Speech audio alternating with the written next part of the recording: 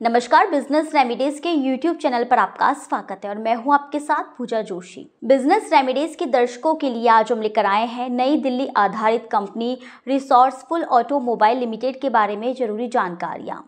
Resourceful automobile limited की स्थापना 2018 में हुई थी और कंपनी सहानी ऑटोमोबाइल नाम से यामाहा दोपहिया वाहन बेचती है। आइए अब रुक करते हैं कंपनी के आईपीओ की ओर। कंपनी का आईपीओ बीएसई एसएमई प्लेटफॉर्म पर 22 अगस्त को खुलकर 26 अगस्त 2024 को बंद होगा। कंपनी द्वारा दस रूपए फेस वैल्यू के दस लाख चौबीस हज़ार आठ सौ शेयर एक सौ सत्रह रूपए प्रति शेयर के भाव से जारी कर ग्यारह पॉइंट निन्यानवे करोड़ रुपए जुटाए जा रहे हैं। आईपीओ का मार्केट लोड साइज़ बारह सौ शेयरों का है। आईपीओ का प्रबंधन स्वास्थ्य इन्वेस्ट मार्ट लिमिटेड द्वारा किया जा रहा है।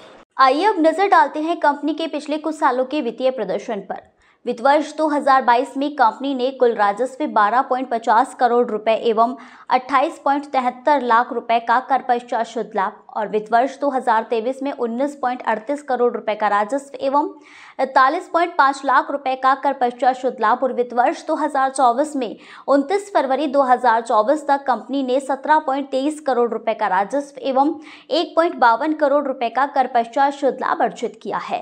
कंपनी के वित्तीय परिणामों से स्पष्ट है कि कंपनी का राजस्व एवं कर पश्चात शुद्ध लाभ वर्ष दर वर्ष बढ़ रहा है। वित्त वर्ष 2024 में 29 फरवरी 2024 तक कंपनी का कर पश्चात शुद्ध लाभ मार्जिन आठ पॉइंट सड़सठ फ़ीसदी दर्ज किया गया है। वित्त वर्ष 2024 में 29 फरवरी 2024 तक कंपनी की कुल असेट्स चौदह पॉइंट इक्यावन करोड़ रुपए नेटवर्थ तीन पॉइंट पंद्रह करोड़ रुपए रिज़र्व एंड सरप्लस एक पॉइंट बावन करोड़ रुपए और कुल कर्ज नौ पॉइंट बानवे करोड़ रुपए दर्ज किया गया है।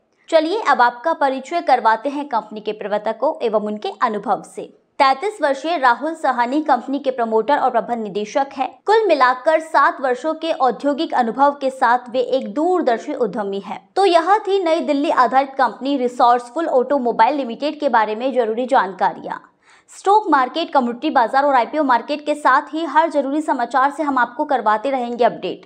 देखते रहिए बिज़नेस रेमेडीज की डिजिटल खबरी। वीडियो को लाइक करना, कमेंट करना, शेयर करना ना भूले। साथ ही चैनल को तुरंत सब्सक्राइब भी करें। धन्यवाद।